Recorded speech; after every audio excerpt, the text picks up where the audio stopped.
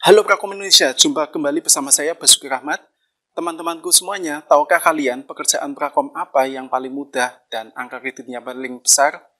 Ya, kalian pasti tahu jawabannya, yaitu menjadi peserta dalam seminar.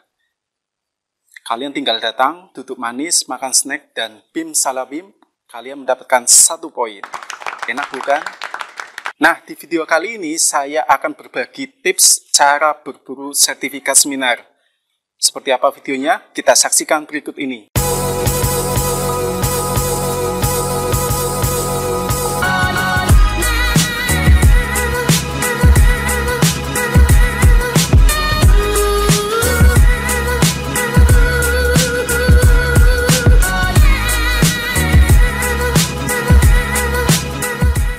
Mengikuti seminar merupakan salah satu butir kegiatan favorit saya.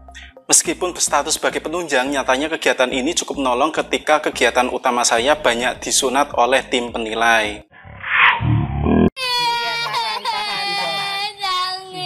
Berdasarkan pengalaman, kegiatan seminar saya selalu dinilai oleh tim penilai. Jadi setiap tahun ada dua poin penunjang dari kegiatan seminar saya tidak pernah absen dari PAK saya. Nah, gimana sih langkah-langkah kita dalam berburu sertifikat seminar? Berikut ini langkah-langkahnya.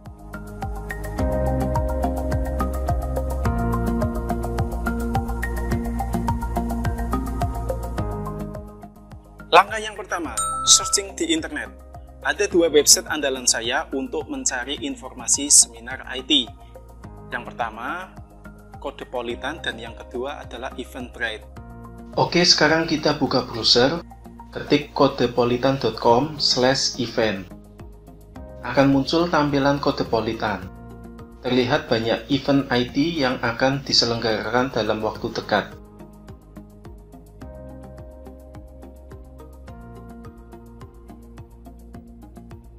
Karena kita akan mencari seminar IT, maka pada kotak pencarian kita ketik seminar IT. Terlihat beberapa seminar yang dapat kita pilih. Berhubung saya berada di Salatiga, maka saya pilih seminar IT nasional yang ada di area Solo. Pada contoh ini, ada empat topik seminar yang dapat kita pilih, yaitu Startup, Animation, Android, dan Game Development. Kalian dapat memilih topik yang kalian suka atau waktu yang longgar. Karena seminar dalam satu tahun maksimal diajukan dua kali, maka kita mencoba searching lagi seminar di eventbrite.com. Pada browser kita ketik eventbrite.com.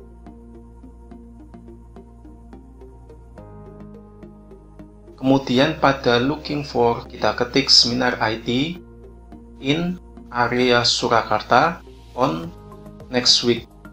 Kemudian klik tombol search. Akan tampil daftar seminar IT di Surakarta yang akan diselenggarakan dalam waktu dekat. Sekarang kita coba klik seminar OpenStack Scale Up Your Project. Kemudian tampil detail seminarnya.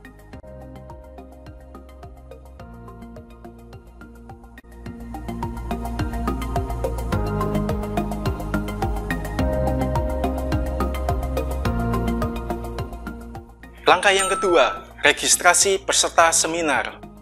Berhubung pendaftaran di seminar IT pada contoh kode politan masih manual, maka saya mencoba mendaftar via pesan WhatsApp. Selanjutnya, saya mentransfer uang pendaftaran ke panitia. Setelah mentransfer uang pendaftaran, maka saya mengupload bukti transfer ke panitia. Alhasil, status pendaftaran peserta seminar telah berhasil.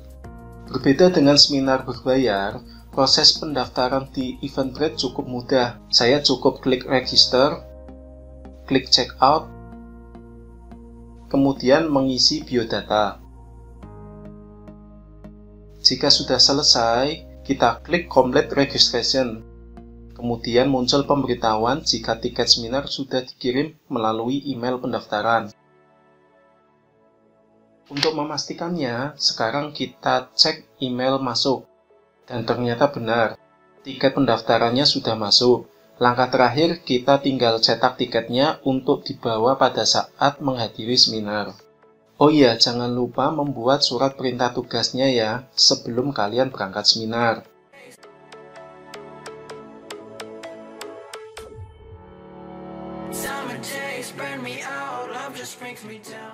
Langkah yang ketiga, menghadiri seminar. Ada beberapa poin ketika akan menghadiri seminar. Pertama, bawalah tiket pendaftaran dan bukti transfer jika mengikuti seminar berbayar.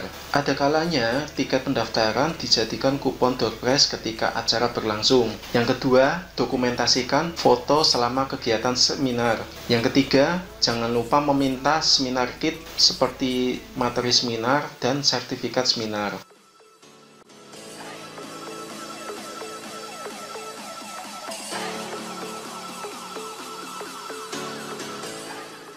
Langkah yang keempat, membuat bukti fisik. Pada dasarnya, bukti fisik kegiatan seminar cukup simpel, yaitu hanya legalisir sertifikat seminar oleh kepala OPD dan surat tugas dari kepala OPD.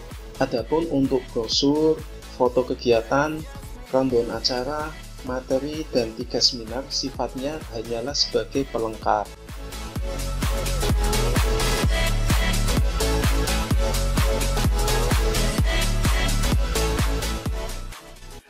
Demikian video cara berburu sertifikat seminar. Jangan lupa untuk menilaikan kegiatan ini setiap kalian mengajukan TUPA, karena ini cukup membantu sekali untuk menambah angka kredit kalian. Oke, sekian dulu video kali ini. Jangan lupa klik like, subscribe, dan share video ini ke sosial media kalian. Saya Basuki Rahmat, mohon undur diri. Sampai jumpa di video selanjutnya. Terima kasih telah menonton.